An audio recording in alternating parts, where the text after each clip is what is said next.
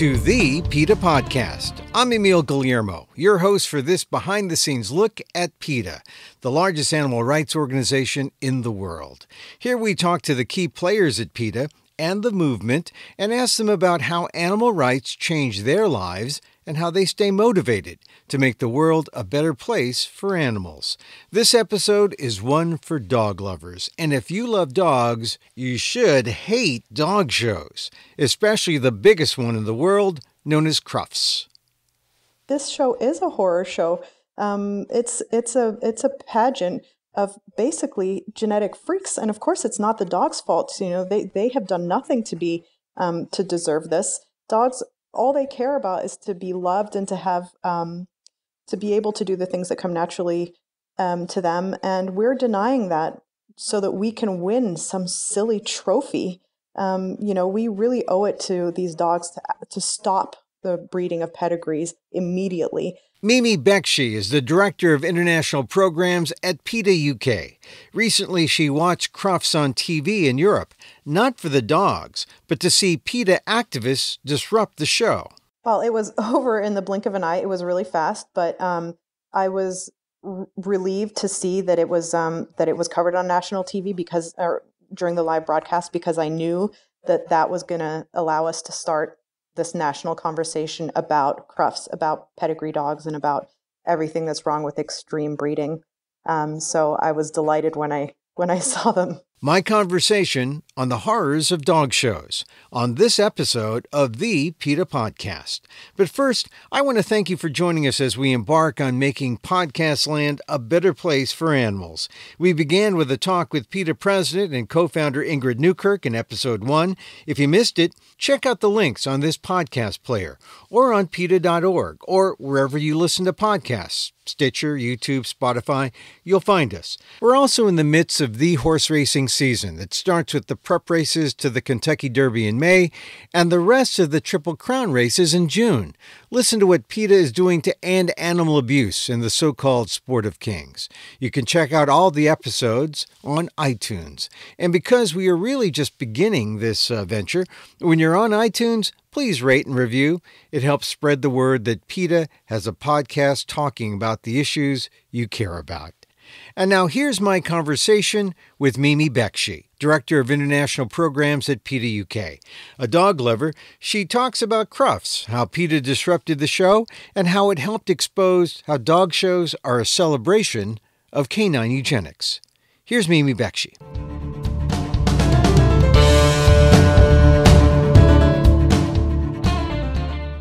People here in the U.S. know about Westminster.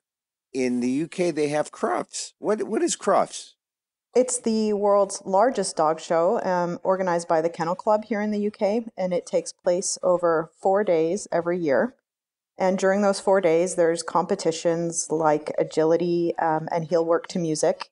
But then, most famously, on the last day, there's one unlucky dog who is crowned best in show. Now, you say this is is this the biggest in the world? This is bigger than Westminster? It is. It's the biggest uh, dog show in the world. It's essentially a beauty pageant uh, that encourages the breeding of pedigree dogs with extreme and debilitating physical features at the expense of their health. Um, and then it also causes other dogs uh, harm because it's sending the message that purebred dogs are somehow more desirable than mixed breed dogs. And that leads people to go out and buy these must have breeds, you know, the breeds that win best in show.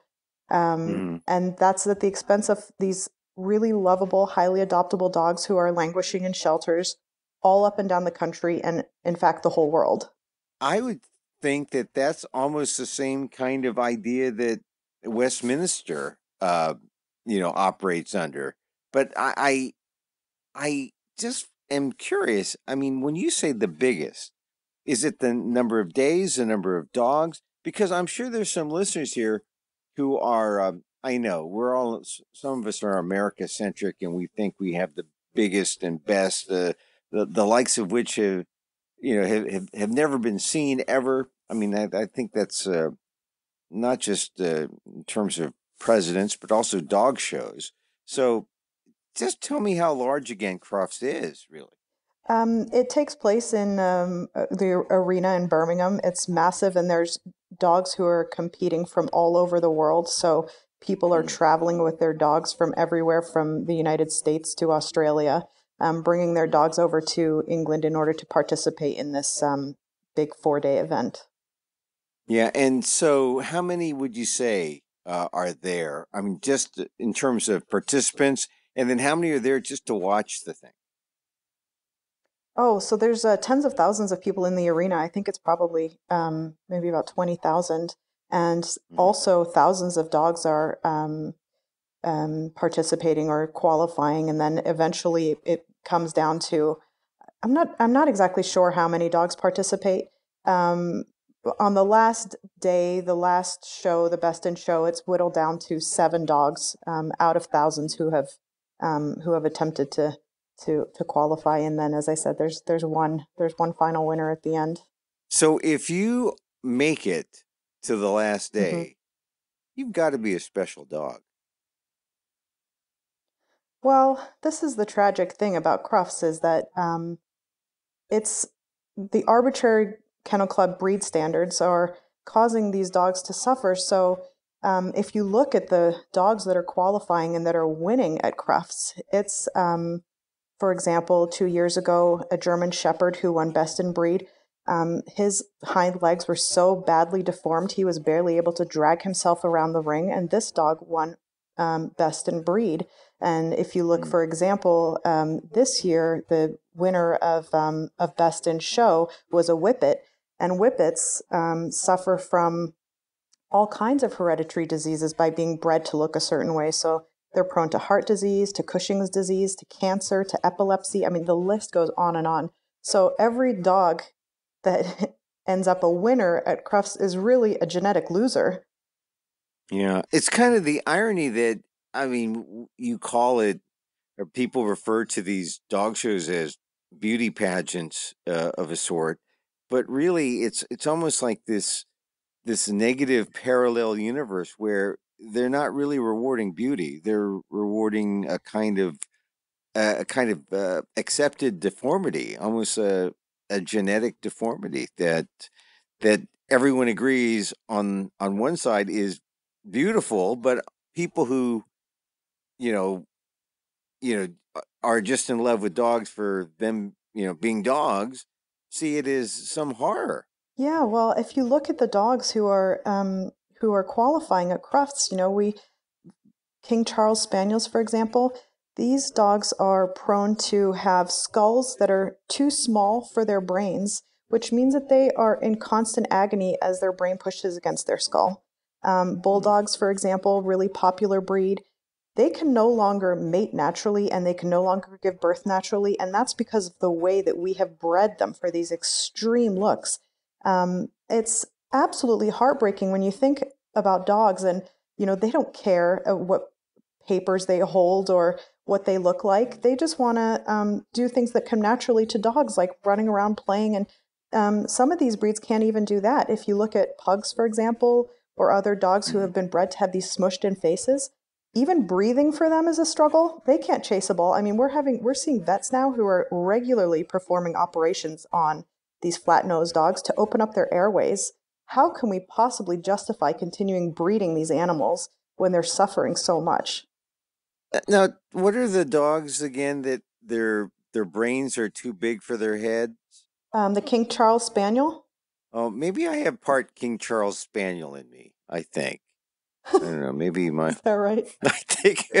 I think sometimes I feel my brain is too big for my head, but but that's not necessarily good because sometimes the extra parts don't function as well.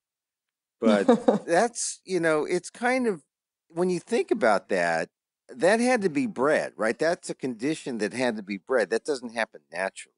No, no, no pedigree dog uh, uh, is is natural. Um, all of these dogs have been bred from a really small gene pool, um, and very very small number of founding animals. And so the very notion of a pedigree dog means that there's limited genes, limited diversity, and therefore um, exaggerated illnesses. So when when w- one of those dogs suffers from something, they're passing it down the line. Um, and the only way for that to stop is for these dogs to be to breed with other um, types of dogs, which of course is not what the Kennel Club wants, not what Crufts promotes. And so, therefore, these arbitrary standards um, are encouraging us to continue to breed these dogs for deformities that are causing them to suffer. And you said a magic word in in that uh, that little s- section there. You said the word diversity. That's something you don't get when you when your mantra is heritage and breeding, right? I mean, if you're not if you're just thinking about bloodlines and trying to perfect going on heritage and breeding, you miss out on all that great diversity that that will give you biologically really probably a better dog, a better uh, being, right? Absolutely. Um, pedigree dogs are not natural. They are we have we have created them. We have engineered them to look at a certain way at the cost of their of their health. You know, there was um the RSPCA did an independent or commissioned an independent scientific report which concluded that the very notion of breeding purebred dogs, um, breeding for physical traits, is a problem, and there's no way to eliminate the problems that it causes while they're still being bred with their own breed. Um, it's it's very simple. I mean, when you think about it, of course, um, when you're breeding um, by you know with family members and other family members, and when you look at Crufts and you see the winners, it's you can see their their grandfather is also their brother. Their you know they, they their gene pool is so limited that of course they have these genetic problems. It's it just it, it's so obvious as to why. But it's sort of like the royal family, though. well, no comment. no comment. No, well, the idea though is that you know, as you were saying all that, if we applied the same standards to humans that we do to these dog shows, we wouldn't be participating, and we would be a horror show, right? Absolutely, and this show is a horror show. Um, it's it's a it's a pageant of basically genetic freaks, and of course, it's not the dog's fault. You know, they they have done nothing to be um, to deserve this. Dogs, all they care about is to be loved and to have um, to be able to do the things that come naturally um, to them, and we're denying that so that we can win some silly trophy. Um, you know, we really owe it to these dogs to to stop the breeding of pedigrees immediately. And the fact is, is that we have so many animals in this country and around the world who need homes. They, there are millions of animals in shelters who desperately need homes. So the idea that we're continuing to breed other animals, A, that are being bred to suffer just because of the, the, the way that we're breeding them, um, but the fact that we're breeding animals at all while we're euthanizing animals in shelters because we don't have enough homes for them is it's just absolutely immoral. So here we have Crufts, this massive show. This uh, it's famous, right? It's in England. Everyone around the world, you know, comes to it. It's bigger than Westminster, bigger. And and people in America, if they're listening, will eh, that'll resonate to them because they say, "Oh, the dog." There's only one dog show in some Americans' minds, but this is the essentially the world's dog show. Twenty-one thousand contestants, four days. They get six finalists, and there you had on Sunday Tease, a two and a half year old whippet, and then there was a, a a pointer named Canix Chili. I don't know what Canix. I don't know what Canucks Chili means, but that that was its name. It was it was Canucks and Tease, and the fact that you have a, a dog, a whippet named Tease, it sounds so, you know, so you know, kind of well, it's teasing, right? I mean, it's a it's a very you you you want to warm up to this, and you root for Tease, and but you didn't root for Tease. Well, we're rooting for all dogs, which is why we're opposed to to Crufts, you know. Um, and uh, we had on Sunday during Best in Show, as you were describing, when Tease um, was declared the winner. we had a couple of activists who ran into the main floor with posters that read, uh, Crufts is canine eugenics. And that's because we wanted to draw attention to the fact that these dogs that are winning at Crufts are bred in these really abnormal shapes and sizes, and it's causing them all sorts of genetic problems. Um, and this is all to meet the these arbitrary standards set by the Kennel Club. You know, dogs do not care if they measure up to a judge's breed standards, but they're the ones who are the who are caused pain and suffering by being bred in order to try to meet these standards. Um, so we really need to stop it, and and that's why we were there at Crufts to make sure that people know that people understand that this is this, this is not just a beauty pageant. This is this is dog suffering. Well, let's talk about that moment though, because that must have been a moment. All eyes were on on on Tease and Canix. Tease is with his uh, owner, right? Uh, who's from Edinburgh, uh, Yvette mm-hmm. Short. They're they're all there, uh, and they're about to be announced.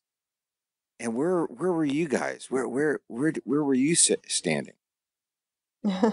so we had a couple of activists who were um, in the audience, and it was their plan to run out right at, as Best in Show was announced. You know, this is a live broadcast, um, and then we we had um, uh, somebody else there who was filming, luckily, and um, I mean, I don't know if you saw it, but it, the overreaction was just absurd. This is two vegan activists holding signs, and they must have been tackled by 20 people um, mm. and and t- taken out of there. Uh, it was it was uh, quite eventful. Did did they know beforehand what they were getting into, or was it a total surprise that it that this overreaction would happen? Uh, no, they knew. I mean, we we it's not the first time that we've interrupted Crufts, so uh, we we knew that they were not going to um, take it lying down. So we didn't expect that they, that we would have a lot of time um, with the signs being held up, but um, it was long enough for us to be able to start a national conversation. Uh, we the next day were invited onto national uh, TV news. It was in all of the national newspapers, online and in print. We were uh, invited to talk on dozens of national radio shows. So um, just that one or two seconds in the ring was long enough long enough for us to be able to, um, you know, talk to people about why we believe that Crufts is a celebration of everything that's wrong with the dog breeding industry. And so, when the media asked you questions, were they critical? Um, the the reaction was very mixed. We had a lot of people who were really supportive of the action. Um, a lot of people who were um, surprised because they didn't necessarily understand why PETA would be um, opposing a, a, dog show as dog lovers. But so that was a great opportunity for us to be able to talk to dog lovers because, you know, it's dog lovers who go to Crufts, it's dog lovers who watch Crufts. So they're the people who, who we want to speak to the most to say, you know, if you love dogs, which we know that you do, then you need to stop supporting this because this is what's happening as a result of dogs being bred a certain way. And um, so it was a really important conversation to have, and uh, and by by and large, the the reaction was overwhelmingly positive. You've interrupted Crufts before, and I I dare say you probably got similar reaction. Was it different though this time, or was it was it more? Were people are people more understanding uh, today than they have been in the past? Do you think you actually moved the ball forward? You know, this is um pedigree dogs is an issue that has been talked about a lot in the UK over the last decade or so. There was um, a documentary that came out called Pedigree Dogs Exposed um, several years ago, and at that time, um, the BBC, which used to air Crufts, cut ties, stopped airing it. Mm. Um, the RSPCA took a stand against it. Lots of the sponsors um, took a stand against it, and so um, since that time, there's been more and more education around the the problems with pedigrees. So there, you know, maybe 10 years ago, it w- people w- it would have been surprised by it, but um, today people are more are understanding more and more why um, this is wrong, and you know, there's a lot more people who oppose Crufts than than who support it. I mean, in general, now would you say it's like 60 40 or 70 30 against, or do you do you think it's closer to you know, 55 to, you know, 45, uh, more in the middle? Or do you think there are people swinging toward being against Crufts? I think when, um, you know, Britain prides itself on being a nation of animal lovers, and I think that um, when people actually learn the truth about how pedigrees suffer, um, and that's every single pedigree. There's not a there, you know, all of these are breeds who have been um, created by humans. These are not naturally occurring animals, and people. I mean, there's so many people in this country who have dogs and who have pedigree dogs because they didn't realize that, um, you know, Labradors, for example, are prone to bone disease and hemophilia and retinal degeneration all these things. And they love their dogs so much. And then they have the heartbreak, they face the heartbreak of having to deal with these health issues. Um, so when people do learn about how pedigrees suffer, um, then absolutely they're opposed. So, you know, our job is to have that conversation to let people know. Um, and then, you know, as I said, a nation of animal lovers. When we know, when we have that information and we know it, we make the right choices. But it sounds like you have some really traditional uh, elements in the uh, in the mix, backing backing PETA on this. When you had the RSPCA, you said, and some others speaking out. I mean, that's got to be a, a massive uh, massive blow to to things like Crufts. No. Oh, absolutely. Um, you know, uh, the RSPCA was tweeting along uh, during Crufts every time there was a, a new dog breed being shown, explaining the issues with that associated with that breed. Um, and uh, that's really important for an organization like the RSPCA to um, to take that stand. So we're we're really glad that they do that. Are there any specific breeds that concern you, and what is the problem with those breeds? You know, honestly, every single breed concerns me because about one in four pedigree dogs is born with a serious congenital defect. Um, anything from cataracts and allergies to things that are incredibly painful, like hip dysplasia. Um, and this is just a consequence of them being um, bred through generations of inbreeding and for these distorted physical features. So there is, when we're talking about a pedigree, um, there will be a host, a list of, of issues with each breed. And so our position is we absolutely should not have any breeds. These are not these are not natural animals. These are animals that we've created and we need to stop creating them because we're we're we're breeding them to be born with so many problems. But some people still love their dogs, as you know. And mm-hmm. what would you tell people like that who say, uh, my my French bulldog or my bulldog, mm-hmm. you know, I, I can't mm-hmm. my my dog with the the brain too big for his head. I love him. Mm-hmm. You know, what mm-hmm. would you tell those people? Yeah, I mean, I understand. Of course, people love their dogs. Um, but I would say if you love them, then think about what's best for them. You know, you bring up bulldogs. Well, bulldogs have been so extremely bred that they can't even give birth naturally. Where how can we how can we say that we love them and do that to them? Um, they, if we care about dogs, then we need to run a mile from these breeders and from pet shops who are bringing more animals into the world to be born to suffer.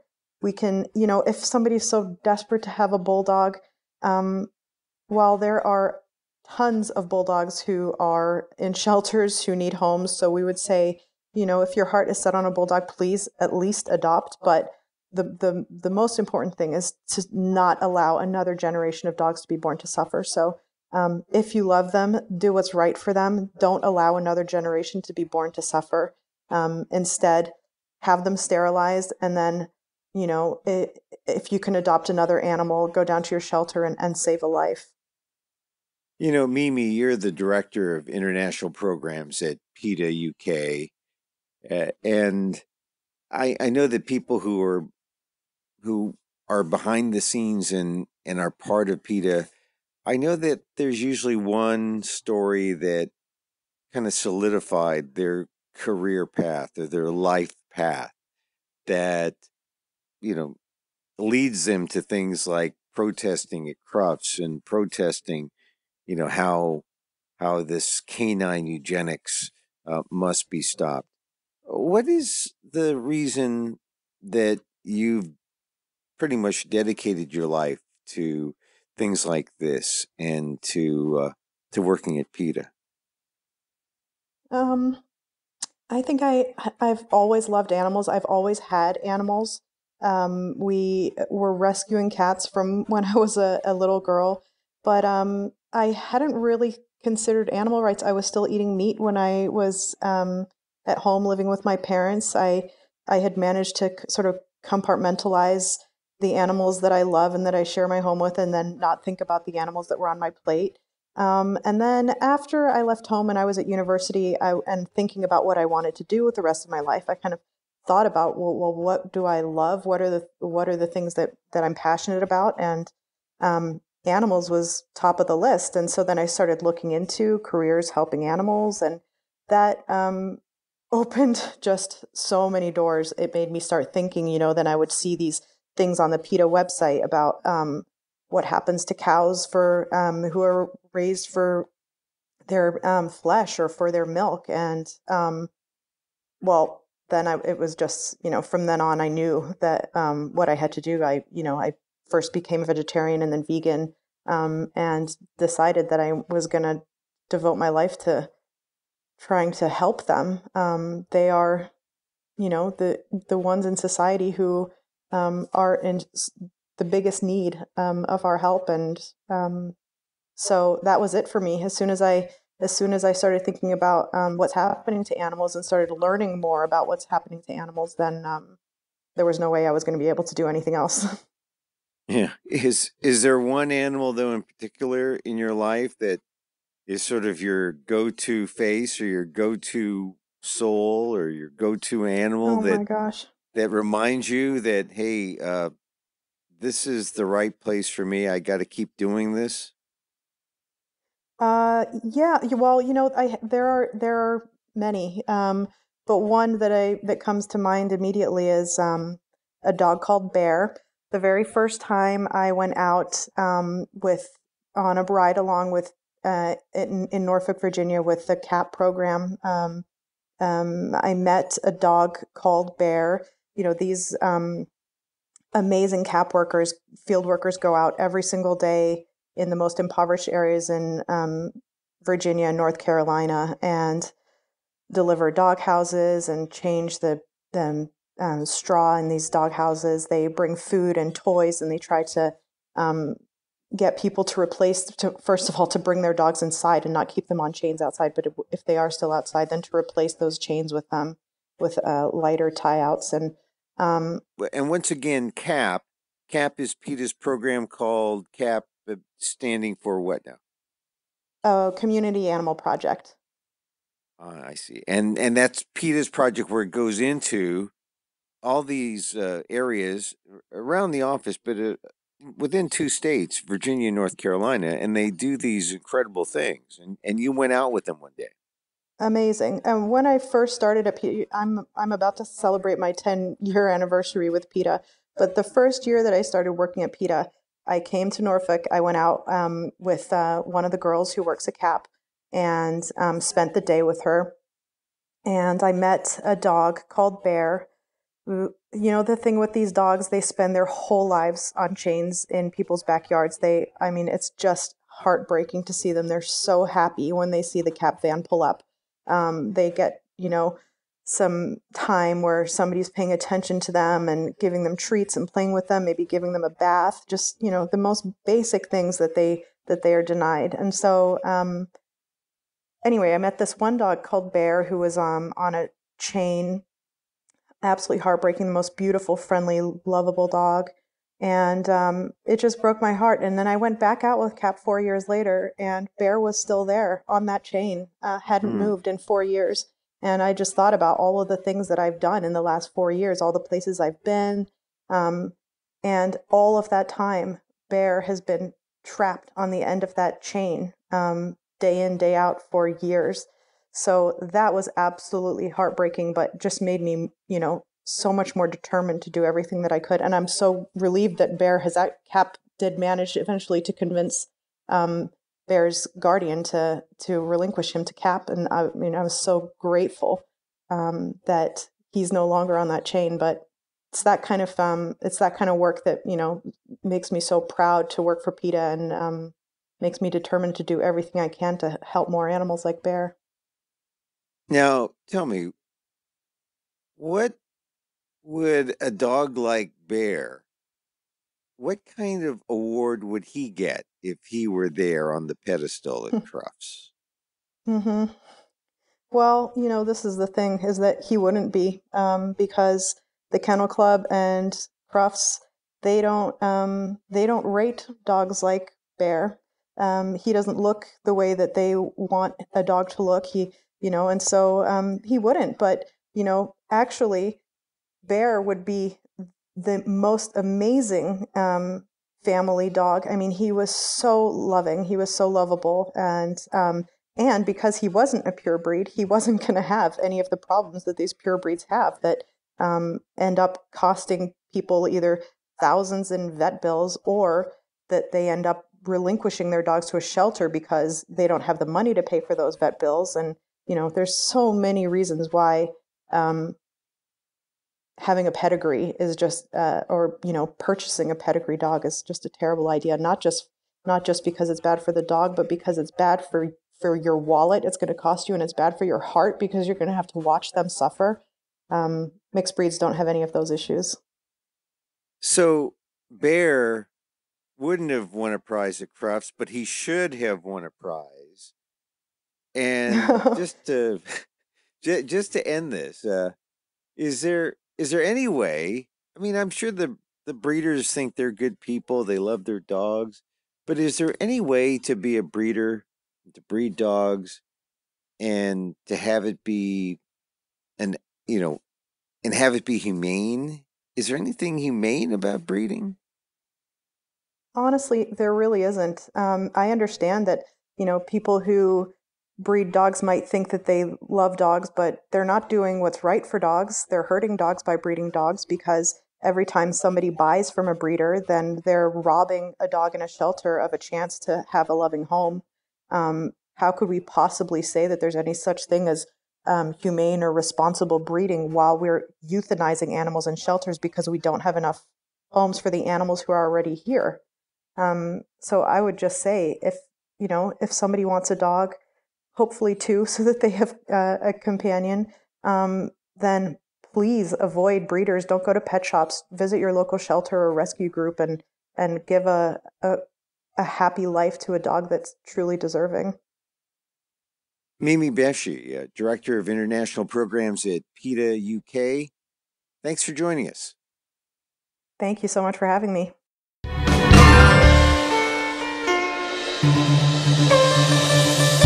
Bekhechi, Director of International Programs at PETA UK, on the world's largest dog show, Crufts, how PETA disrupted the show and ignited a conversation about the horrors of dog breeding.